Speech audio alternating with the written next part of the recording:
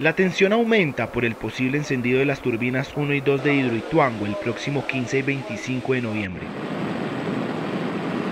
La razón, los riesgos que pueden enfrentar las comunidades aguas abajo de este proyecto al que se le han encontrado fallas en el diseño y construcción. Es necesario que estén en un proceso de alistamiento, de evacuación en dado caso que se llegue a materializar algún riesgo que pueda generar alguna afectación. Seguridad que debe ser una prioridad según la Contraloría General de la República. Más allá de una dificultad que pueda existir de una fecha determinada, lo más importante para la Contraloría es la seguridad de las personas. Dificultades que serán evaluadas por el organismo de control y con base en ello podrían estar reabriendo nuevamente procesos para resarcir el detrimento patrimonial.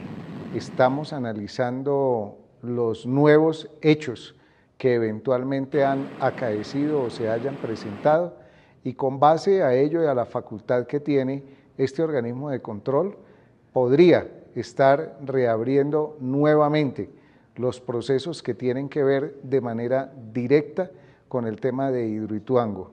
Cabe resaltar que la Contraloría General se encuentra realizando un seguimiento constante a las obras para revisar la adecuada inversión de los recursos recuperados como consecuencia del fallo con responsabilidad fiscal proferido en el 2021 por valor de 4,3 billones de pesos. Desde Bogotá informó Edgar Ramírez.